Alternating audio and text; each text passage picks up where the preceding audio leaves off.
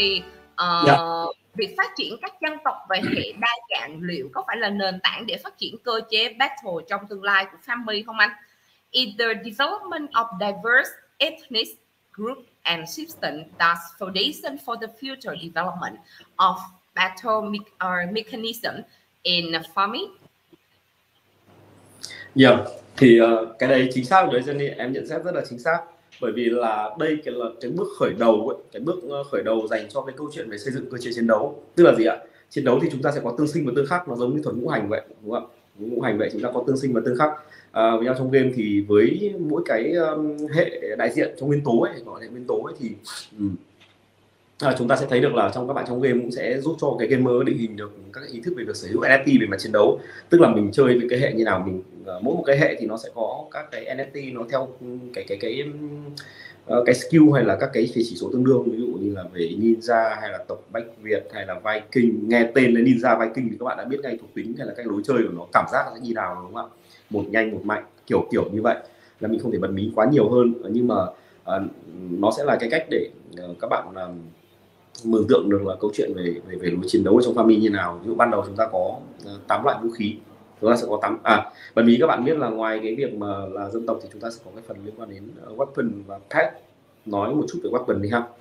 Weapon thì chúng ta có sẽ có tám loại vũ khí và những cái loại mỗi vũ khí là có cách chiến đấu khác nhau. Chúng ta có khiên có thương có cung có, có cận chiến có xa chiến. À, mỗi vũ khí này cũng ở mỗi một dân tộc ấy nó sẽ mỗi một dân tộc cùng là vũ khí nhưng các dân tộc khác nhau nó sở hữu khác nhau. Tức là gì ạ?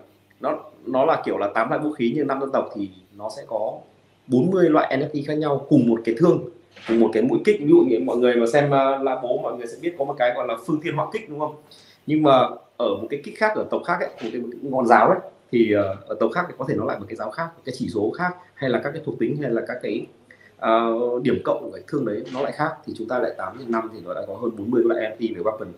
Ờ, lại có random chỉ số về độ hiếm nữa nên là cái loại vũ khí nó sẽ khác nhau. À, có vài chúng ta có vài trăm loại vũ khí ở trong game. Để chỉ đơn đơn thuần câu chuyện về về mặt yếu tố thôi. À, thương ở bộ tộc xét là sấm xét là khác ở, ở bộ tộc về nước nó khác ở bộ tộc về gió nó lại khác rồi. Đấy chưa kể là bổ sung các loại vũ khí tương lai thì cái nguyên liệu vũ khí chưa nói về đến pest uh, thì nó đã là rất là đa dạng rồi. Thì uh, nắm được những cái yếu tố của, như vậy thì các bạn sẽ hiểu được cái việc mà tương sinh tương khắc sẽ phù hợp với cái lối chơi của các bạn uh, khi mà các bạn chơi game. Đấy, việc phát triển đa dạng hệ dân tộc nó là như vậy đúng không ạ? Cùng một loại vũ khí như ở các dân tộc khác nhau người ta cách sử dụng người ta khác nhau và cái kỹ thuật hay là kỹ năng hay là cái cái cái cái cái, cái, ừ, hiệu quả cái đèn lò đánh ấy, nó cũng được hiển thị khác nhau luôn? Một cái xe đạp mà chúng ta có thể đi mỗi người đi một kiểu hay một cái thương mỗi cách chiến đấu một kiểu khác nhau hiệu quả khác nhau. Đấy là là cái cách ừ, tiền đề cho câu chuyện về mặt battle chiến đấu ở trong game. So uh, when we're talking about like the uh, when we're talking about the kind of development of diverse ethnic group and system are the and the and system the foundation for the future development of better mechanism in farming. Uh, yes, this is the beginning of the construction uh, of the better me mechanism that you will see in the game. And also have the gamer uh, to shift and become aware of owning the combat and anti weapon for example, initially, we had a type of weapon and a different way for uh, of fighting for each system as well. At this stage, they are also five ethnic system, so you will be able to own 40 types of an anti-weapon with random with uh, with random only.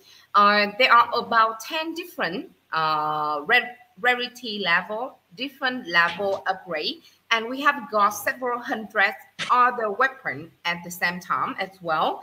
That's not to mention the addition of weapons that will diversify the type of NFT combat, helping player explore and expand the map battle later.